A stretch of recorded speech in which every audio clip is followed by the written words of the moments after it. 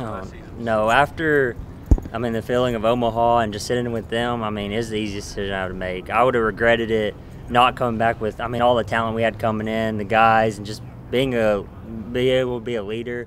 Um, just so much turnover from last year. I just felt like I owed it to them and me, Luke, and Russ had kind of talked about it. We all owed it to the staff and to the team just to come back and kind of be um, have another year where we can impact the team, but also kind of turn over a new leaf where the players from my first year, my second year, are kind of gone and leaving, and then kind of have a new uh, new people to take place and kind of take leadership. Does this team feel like last year's team, or does it feel different? The vibe? It's always every year's different. It, um, it just depends on the guys.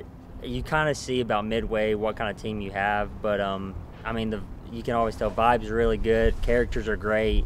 Um, it's different vibes than last year, but it's all it's all good vibes. So Going off that, is there more excitement this year than years past, considering the success of last season? I think it's always more. You, you kind of get to Omaha last year and you don't do your best, and I think everybody now kind of knows what to expect. And we get there, we're going to make a run. I mean, you go back to 2019, we lose in a regional, we lose in a um, game one of Hoover, and then we kind of see what we learned from from there. And that's the kind of program that Coach V and Frank and all them one is one that's resilient.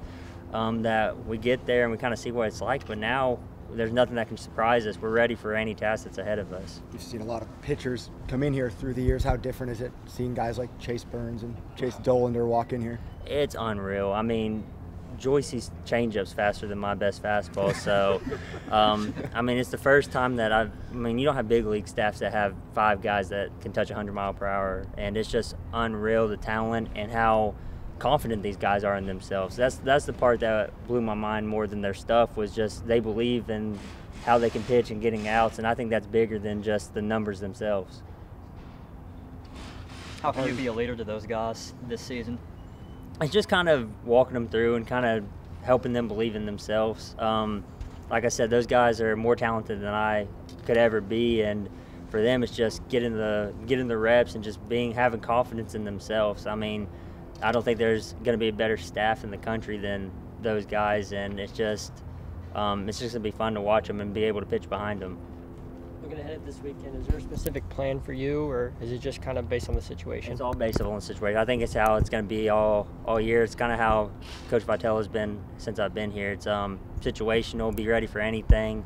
One week you might be a starter. The next week you might be closing, and vice versa. It's just that's kind of the the game plan for us is next next task up. So Outside of you and Kirby and Camden, I mean, who are those other guys in the bullpen that have kind of taken that next step over the off season? I mean, there's a lot of guys. Um, just you have people like Jake Fitzgibbons. You have guys like Sewell who can start, who can come out of the bullpen.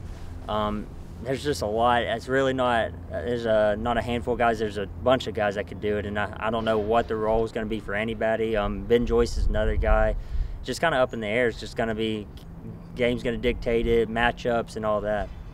Are there young young arms other than Burns that have stood out? Oh yeah, for me, um, one of my favorite guys, White Evans. He's a tall lefty, just heavy fastball, and I think he'll um, definitely have an impact this year out of the pen. Maybe some midweek stuff. Drew Beam's another one. Um, kind of came in with just recovering off of Tommy John. You could see as the over Christmas the progression he's made. He went from 90 to touching 95 and just being really effective for us. So there's a bunch of young arms out there that could have a huge impact this year. last year you, you guys had the walk off in the first series against Georgia Southern. Um, that felt like that kind of set the tone for the season. Is it important to kind of try to set the tone this weekend? It always I the first weekend is just a big for a lot of guys just a big point. You get your first action against another team. You get tired of kind of playing the Vols every weekend, scrimmages and stuff. And um, for a lot of younger players, it's huge just to kind of get that momentum rolling for the season. Um, it helped guys like Liam Spence last year. He's the guy hit the grand slam against them, and you can kind of see that throughout the season he was hot almost from that series on. Ended up batting 400 to the last week of SEC. So, um, no, for a lot of guys it is, and I, I think it's just something that we'll just keep persevering, and I think it'll be a good weekend for us. How different is it to be in uniform and not be right next to the locker with Pete Derkay or Will Heflin? Oh, that's the biggest difference. You play your whole career with those guys. Heflin, I haven't played before, and just kind of um, not being there every day with them. I still talk to them a lot, but um, it's weird not seeing Pete Derkay in a Tennessee baseball uniform. I'll say that.